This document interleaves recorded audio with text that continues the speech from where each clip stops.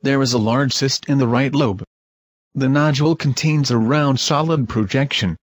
The cyst seems to belong to peripheral type. The solid part contains hyperechogenic granules and lines these correspond partly to non-specific figures partly to connective tissue.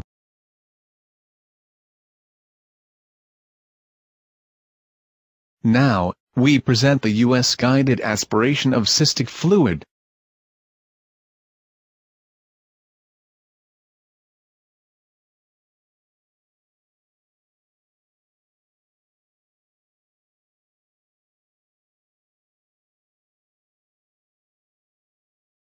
On ultrasound-guided aspiration cytology the duct of the needle can be seen.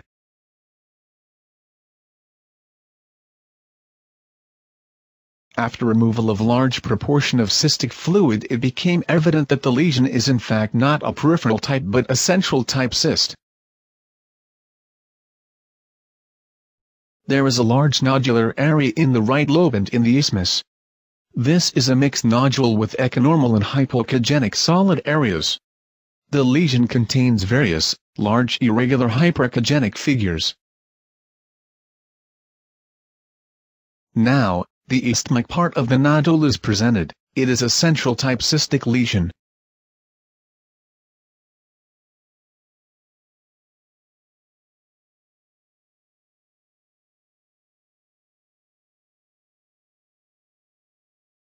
We removed 10.5 milliliter cystic fluid. The tip of the needle is clearly visible.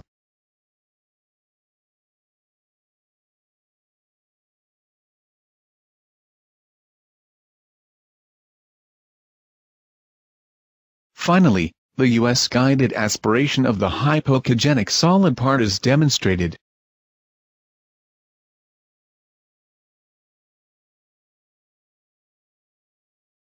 The thyroid is echonormal and contains several hypoechogenic and cystic lesions which present various hyperechogenic figures. The left lobe has a similar appearance. The lesion presented here contains fibrosis. There is a central type cyst with an echonormal solid part.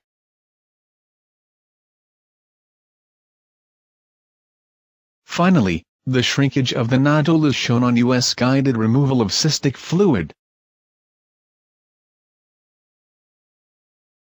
1.5 milliliter cystic content was removed.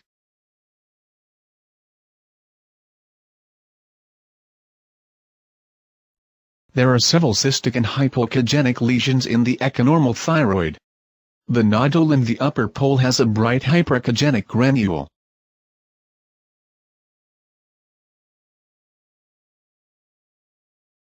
The echo pattern of the left lobe remained unchanged.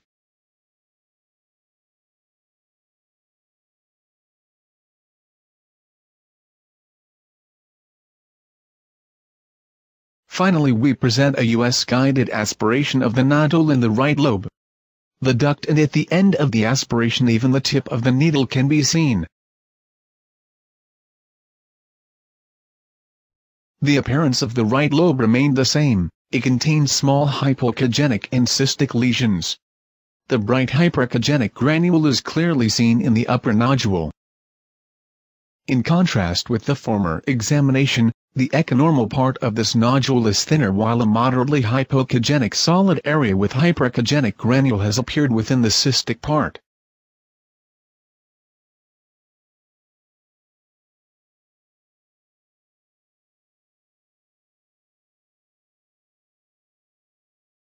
At this time 5 ml serous fluid could be removed from the cyst.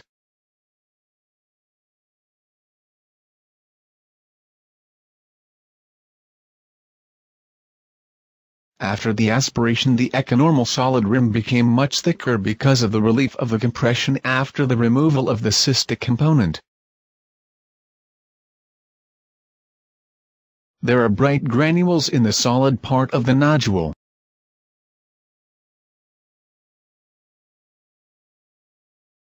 There is a cystic nodule in the ventral part of the right lobe. Most of the hyperechogenic granules and lines correspond to non-specific granules and connective tissue.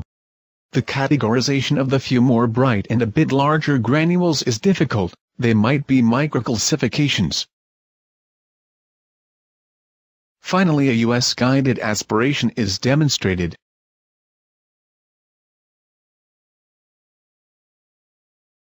There are several moderately hypoechogenic and cystic nodules in the left lobe.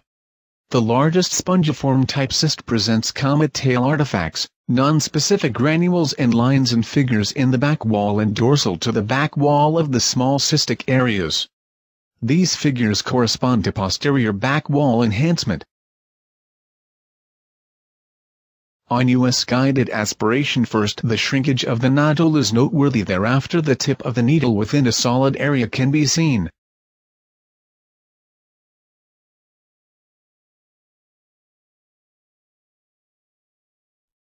Compared with the previous examination neither the size nor the echo pattern of the mixed, multi-chambered cyst have been changed.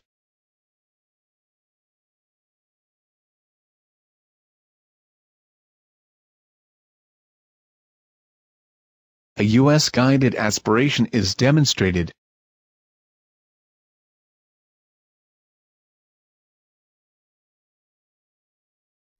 The thyroid is echonormal and contains several small cystic areas. The largest one has a typical comet tail artifact. There is a minimally hypoechogenic nodule in the upper part of the left lobe. The nodule presents halo sign.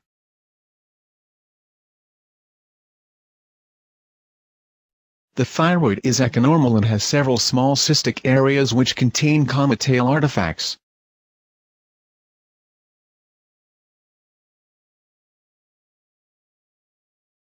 The right thyroid is echonormal and contains small insignificant lesions. The pattern may correspond either to an evolving multinodular goiter or autoimmune thyroiditis. The hypoechogenic lesions presenting comet tail artifact are small foci of incipient nodules. On the other hand, the lobe contains less well-demarcated moderately hypoechogenic areas corresponding to thyroiditis.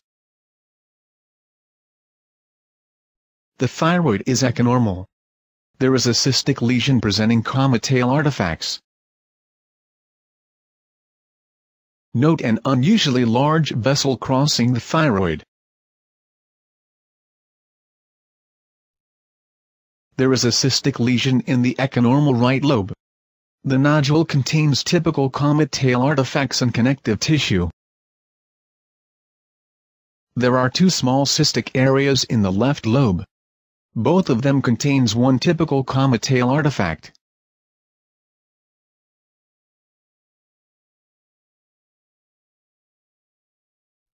First, we present a US-guided aspiration of a large cystic nodule located in the right lobe.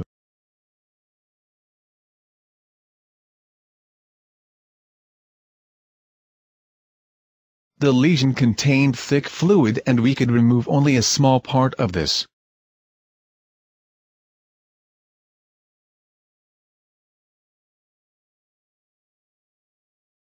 As the nodule centers, hyperechogenic granules become visible.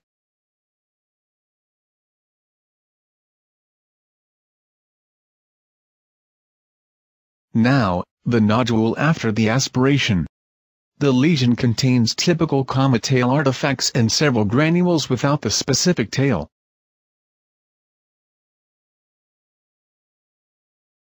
There is a cystic nodule with a moderately hypoechogenic solid part at the periphery. There are numerous hyperechogenic granules mainly in the lower solid area but even within the cystic part, as well. The numerous comet tail artifacts mimic starry sky phenomena, a term restricted to microcalcifications. The removal of 2 milliliter cystic fluid is not presented. Now, we demonstrate a US-guided aspiration of the solid part.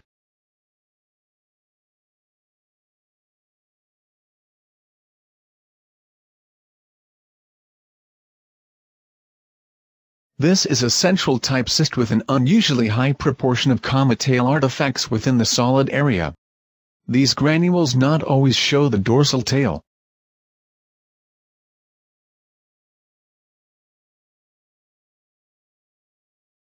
The hypoechogenic nodule contains multiple hyperechogenic granules. Part of these granules has dorsal tail which proves the presence of comet tail artifacts.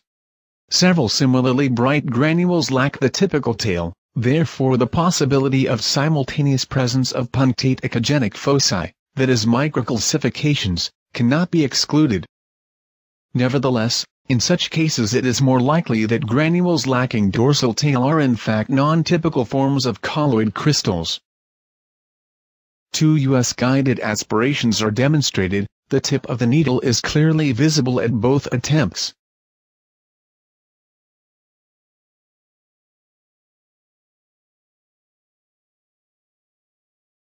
The thyroid is echonormal and contains multiple small hypoechogenic cystic lesions and a moderately hypoechogenic area, as well. The pattern is closer to an evolving multinodular goiter than to an autoimmune thyroiditis. There are typical comet tail artifacts within the cystic areas.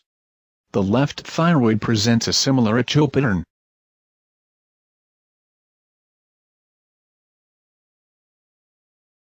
A large cystic lesion occupies great part of the left lobe.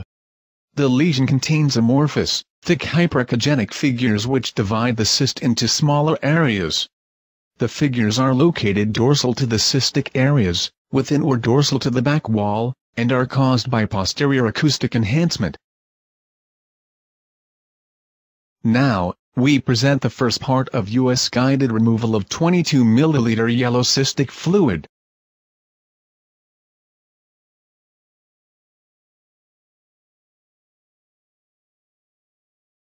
There is a small, moderately hypoechogenic lesion with coarse calcification in the ventrolateral part of the right lobe while a large cystic lesion occupies the medial two-third of the lobe. Next to the lower pole of the cyst there is a solid area with numerous hyperechogenic granules.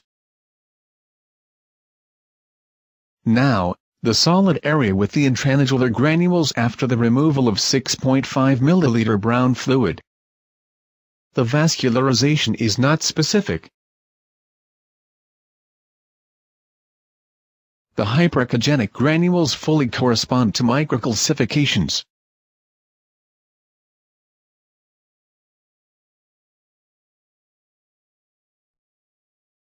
There is a moderately hypoechogenic nodule having cystic areas. Beside back wall cystic figures there are punctate echogenic foci within the solid part of the lesion.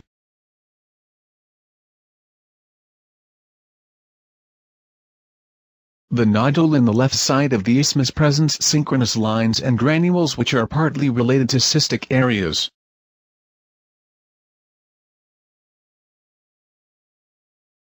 The left lobe has multiple lesions which also presents both echogenic lines and granules.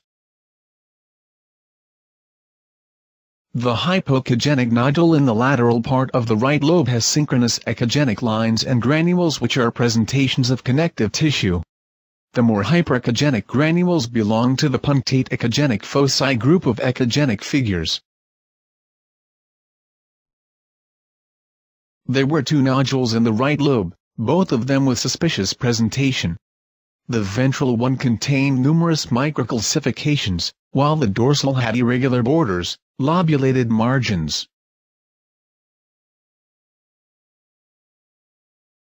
Both lesions presented type 3, irregularly increased vascularization.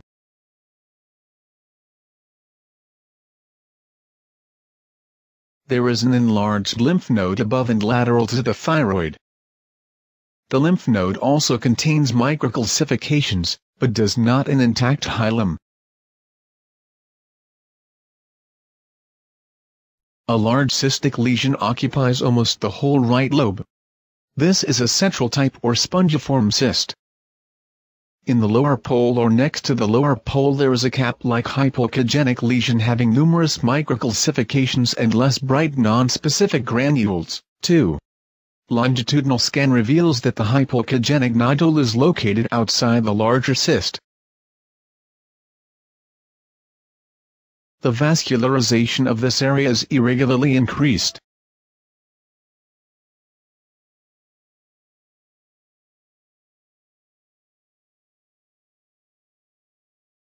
The lesion in question has sharp but lobulated margins. The bright hyperechogenic granules have no tail, they correspond to microcalcifications.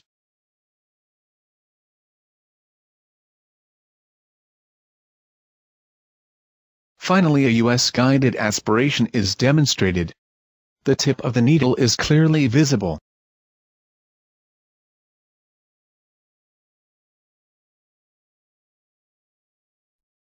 The presentation of the thyroid has not changed since the previous examination.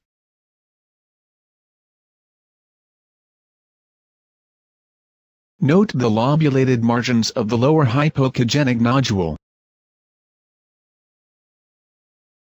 Two US-guided aspirations are demonstrated. The tip of the needle is clearly visible within the nodule on both attempts.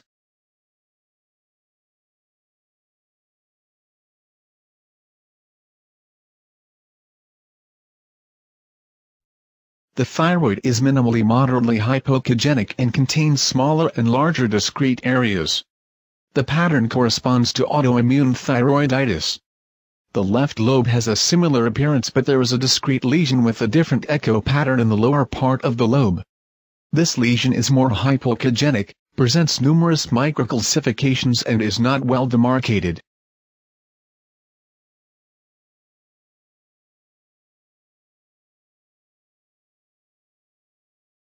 One of the three successful aspirations is demonstrated now. The tip of the needle can be easily identified. The thyroid is composed of pseudolobules. There is a hypoechogenic nodule in the lower pole of the right lobe. The nodule displays the so-called starry sky phenomenon which is caused by the numerous microcalcifications. Note the irregular shape of the lesion. The nodule presents an irregular, type 3 vascular pattern. A large cystic nodule occupies almost the entire lobe. The solid part contains microcalcifications. We had to reset the depth in order to visualize the dorsal part of the lobe. This is a peripheral type cyst. The angle between the projection and the flat area of the solid part is acute.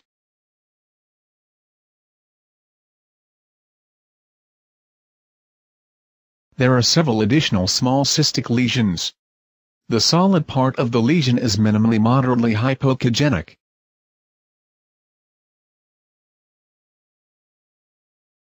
One of the U.S. guided aspirations is demonstrated.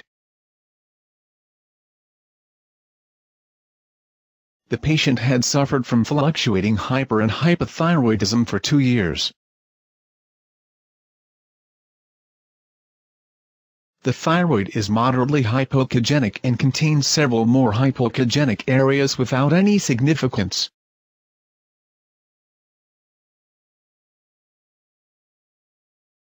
However, there was a suspicious lesion in the dorsal part of the left lobe.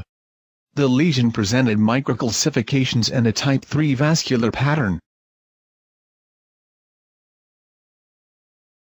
A US-guided aspiration from the small lesion can be seen.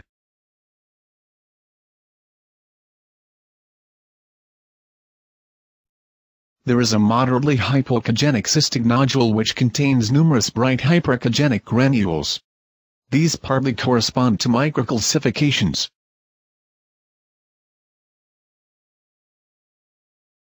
The thyroid is echonormal. There is a hypoechogenic lesion with irregular borders. In contrast with de Quervain's thyroiditis, the borders are not blurred but relatively sharp, puzzle-like. The vascularization is decreased.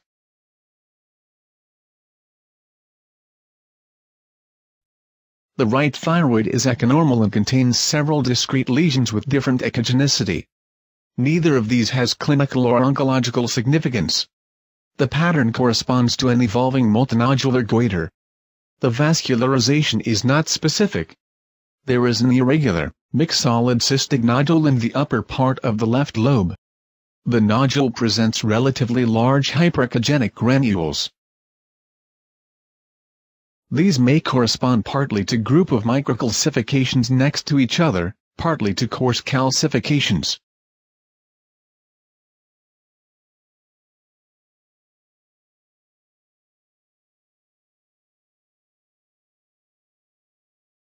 There are multiple lymph nodes lateral to the left lobe with an echo pattern similar to that of the thyroid nodule. The nodes display cystic degeneration and hyperechogenic granules.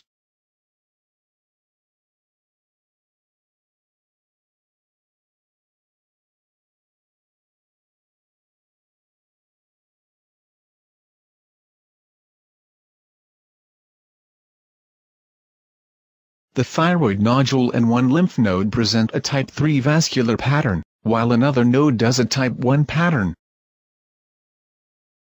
Finally a US-guided aspiration is demonstrated with the tip of the needle in the solid part of the lesion.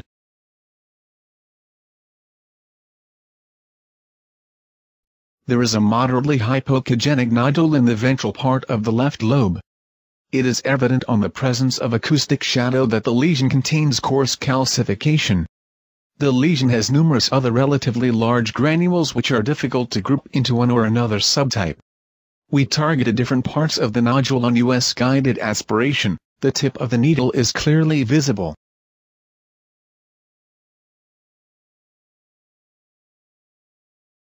A large moderately hypoechogenic lesion occupies almost the entire right lobe. The lesion presents coarse calcifications, similarly echogenic lines and granules. The origin of the more bright punctate granules is ambiguous, they might correspond either to connective tissue or to microcalcifications. A rare synchronous tumor is shown. Papillary cancer was found in the right lobe, in a hypoechogenic nodule displaying microcalcifications. The patient harbored medullary cancer, too, which was located in the left thyroid. There is a hypoechogenic nodule with microcalcifications in the upper lateral part of the right lobe. The lobe contains another larger, minimally hypoechogenic lesion in the dorsomedial part. A hypoechogenic nodule with patchy, hyperechogenic areas occupies almost the entire left thyroid. These hyperechogenic, cotton-like structures correspond to amyloid. Two US-guided aspirations from the medullary cancer can be seen. The tip of the needle is well seen.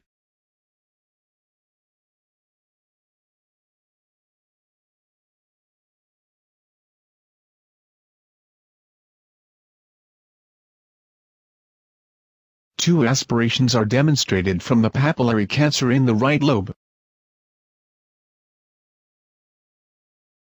On the first attempt, only the duct and the movement of the needle are clearly visible, while on the second attempt, even the tip of the needle is seen.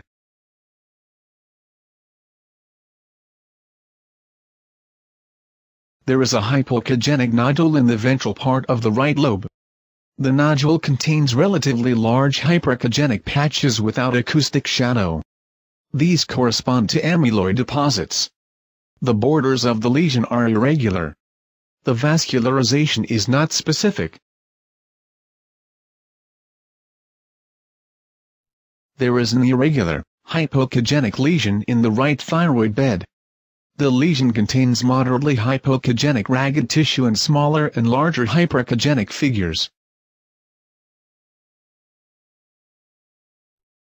There is an irregularly shaped hypoechogenic lesion with central echonormal areas and hyperechogenic figures there is a cystic lesion in the lower part of the right lobe. There are three discrete hypoechogenic lesions in the left lobe.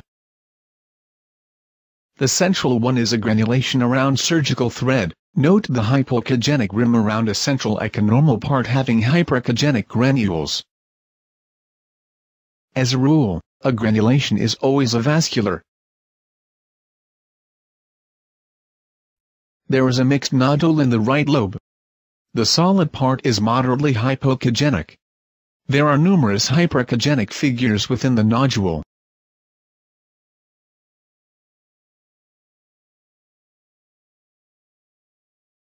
On thorough analysis we can reveal that some of the hyperechogenic granules has a dorsal narrowing tail while others lack this feature.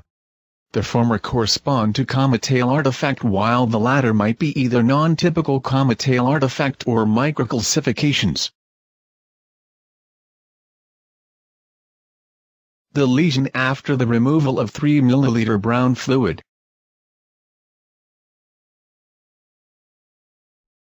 The thyroid is echonormal. There are several small cystic lesions without any clinical or oncological significance in the right lobe. There is a much larger cyst in the isthmus. There is a small, moderately hypoechogenic solid part in the dorsal part of the nodule. The solid area separates a small cystic part. It's more visible on enlargement that the solid part contains various hyperechogenic granules. These are partly nonspecific granules but the larger figures correspond to microcalcifications. Now, an even greater zoom into the solid part.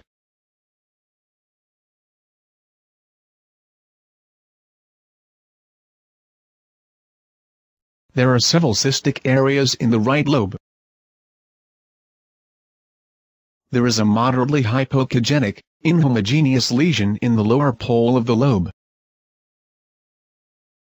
The lesion contains tiny granules and a bit larger, bright granule.